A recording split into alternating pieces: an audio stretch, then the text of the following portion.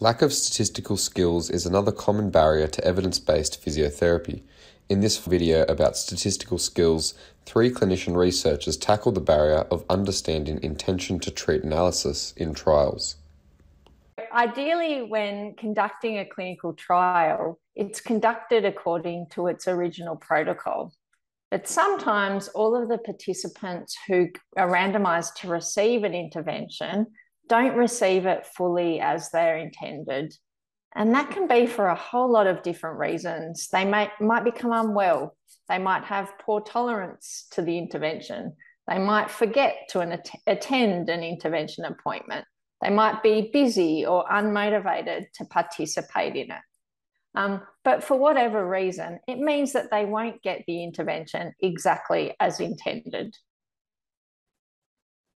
Yeah, and then researchers have to decide how to measure and analyze the data from these participants who weren't treated as intended. A recommended option is to ignore what treatments they did or didn't receive or the extent which they received their intended treatment and just measure and analyze their data as originally intended. So if they were originally intended to be in the group that received treatment A, then we analyze them in group treatment A. And that's called an intention to treat analysis because we're analyzing the data as we originally intended to treat those patients. Now, now this might seem a little bit counterintuitive, this intention to treat approach, uh, but the benefit of the intention to treat approach is it maintains a randomization, which is a key feature of our randomized controlled trial. And unfortunately, uh, other alternatives are, are less satisfactory. So our alternatives are to estimate actual the effect of receiving treatment, and these are the per protocol or the as treated analyses. The per protocol analyses only analyze data from participants who followed the protocol as intended. So, for example, data would be excluded from people who never attended a treatment session. That would be the per protocol approach. And as treated approach considers the treatment actually received by the participant without any regard to um, whether they actually adhered to the group they were assigned to. So, an example of an as treated, um, if we had a trial comparing, say, a, a walking exercise group compared to a no treatment group, in an as treated analysis, individuals, individuals who were randomized to the walking group but decided they didn't want to engage in that therapy, they actually would be analyzed in the no treatment group. So you can ah. see, see these sort of approaches are really focusing on um, the treatment the person in, received rather than what they're intended to. Because the benefits of randomization are lost with the per protocol and the as treated analyses, these types of analyses actually need to be analyzed with methods appropriate for non randomized or observational studies in order to try and account for these potential differences um, in patients and mitigate problems of confounding. So, as you can see, it's not intuitive to have the intention to treat, but possibly it's the best worst option. So, although the intention to treat analysis doesn't seem perfect, it seems like there's no perfect solution to this. Um, so, Mark, do you have any advice to us as clinicians when we're reading papers in how we compare results when it was done with a intention to treat analysis versus the per protocol or the as treated approach?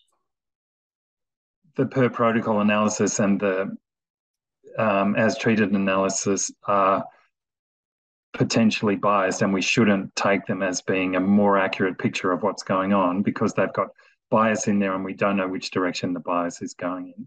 At least with an intention to treat analysis, we know the direction of the bias. It's to make the estimate of the treatment effect a little bit smaller because we've diluted, we've accepted the dilution in the in the um, difference in what interventions were received. It's not all people got treatment A and all people got control. It's that most people got treatment A and most people got control. So the difference in in the um, treatments allocated is slightly weakened, and so the estimate of the treatment effect is slightly weakened, and that's good. We can we can then say, oh well, if we still see what we think is a clinically worthwhile difference, we can be confident about that because we know that if anything, the truth is probably a little bit bigger. The true effect of the treatment is probably a little bit bigger.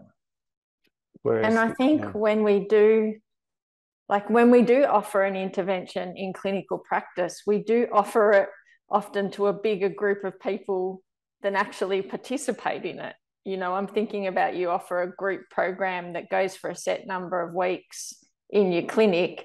You know, very rarely do all of those people turn up for all weeks, but you're still going through time and effort to offer them something. So I actually think it's almost pragmatic to think about it mm. in that in that way of um, I don't just want to know about the two people that come every week. I want to know about the group that I'm offering this to from the outset.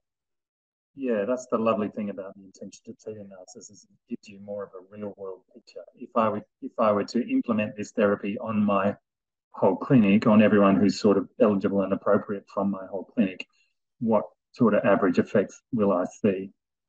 And that's that's what the intention analysis gives you because it takes into account that even when they even when we prescribe it, some patients aren't going to do it or they aren't going to do it fully. An important point about intention to treat analysis is that you must plan to do it from the outset of the trial. It, it's something, it's an approach that you mean, need to maintain throughout the data collection period in a trial. By the time a manuscript comes to the editor, I can ask the authors to give me the intention to treat analysis, but their ability to do that depends on their having measured outcomes in everyone that could be possibly measured throughout the trial, regardless of how compliant they were or whether they received the, the right treatment. And obviously, there'll be some participants that you can't get hold of. If, if someone dies or moves to Antarctica, we can't get hold of them to take the measures, and we just have to accept that as missing data. But if they can be um, measured, if they are, if we can possibly get them in to be measured, then we should do that. And that means um, we need to advise patients about that. Yeah, so I guess as researchers, we really need to tell patients at the outset of trial um, recruitment that we, we need them to be compliant to the best of their ability with the interventions they're provided, whether it's in either groups that you're testing. I guess more importantly, we really want their data regardless of how compliant they are their data is crucial, particularly their follow up data? So, when I'm reading trials, a lot of them don't seem to specifically report that they've conducted an intention to treat analysis. They might say something like, you know, all participants received the intervention as intended. If that happens, can I assume that an intention to treat analysis was conducted?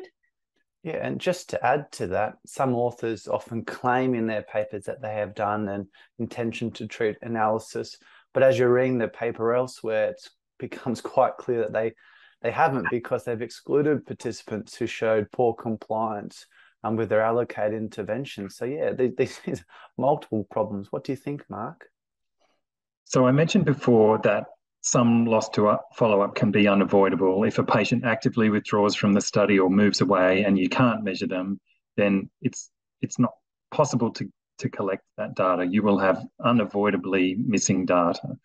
And some authors believe that imputation of missing data is necessary in order to claim an intention to treat analysis. They say unless you've got 100% of data points for patients, even if some of those data points are imputed or made up, then um, you can't claim to have done an intention to treat analysis. But that's not the original definition. If you look in the Cochrane Handbook, the Consort Statement, the PEDro Scale, all of these have a definition of intention to treat analysis that is separate from the issue of missing data.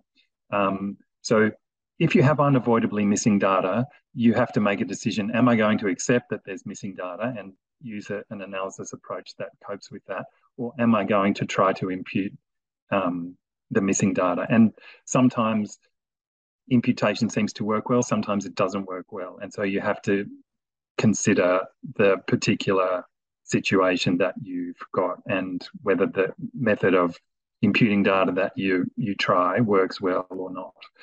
Um, but that is a a separate issue from intention to treat analysis. So you can still claim to have done an intention to treat analysis if you measure everyone that can possibly be measured and you keep them in the groups to which they were originally randomized. Now, this is a, a real problem and something that, as readers of research, we should be aware of. When we look at all trials indexed on PEDro, um, we see that about 30%, only about 30% actually um, have satisfied the intention to treat item on the PEDro scale. So we encourage everyone to, to read a bit more about the explainer document we've attached to the notes to learn a bit more about intention to treat analysis and how we can interpret trials which have or haven't used it.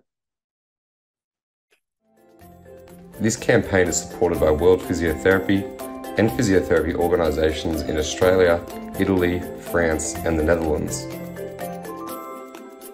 Please join us in the PEDro Tackles Barriers to Evidence Based Physiotherapy campaign and help tackle the biggest barriers to evidence based physiotherapy. You can follow the campaign on the PEDro webpage, blog, or social media.